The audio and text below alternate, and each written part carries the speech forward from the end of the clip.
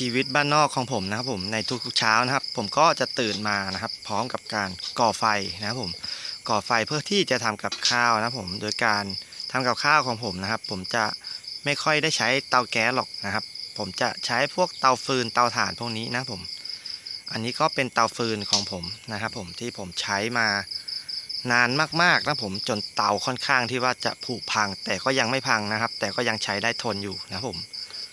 นี่นะผม โดยการใช้ผมก็จะใช้ในส่วนของทั้งถ่านนะครับ แล้วก็ทั้งฟืนนะครับ ผมก็จะใช้ฟืนด้วยนะ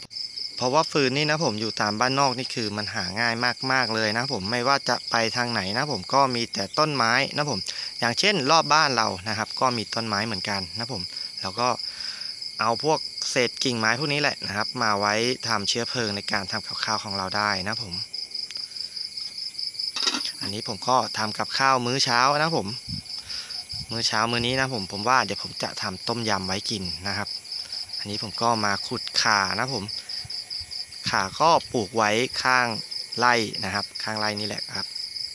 อันนี้ก็เป็นใบมะกรูดนะผมก็ปลูกไว้ข้างไร่อีกเช่นเคยนะครับทำไมถึงปลูกไว้ข้างไร่นะผมเพราะว่าตรงไร่นะครับมีการปั่นน้ำสปริงเกอร์นะครับผมการที่เราเอาพืชผักสวนครัวพวกนี้มาปลูกไว้ใกล้ ๆน้ำนะครับ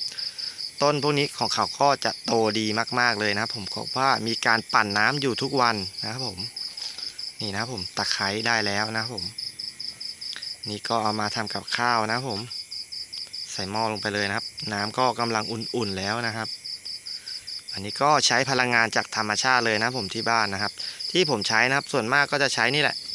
ใช้ฟืนกันนะครับถ้าส่วนมากเลยนะครับ โดยการทำกับข้าวนะครับ เพราะว่าการที่เราอยู่บ้านนอกเนี่ย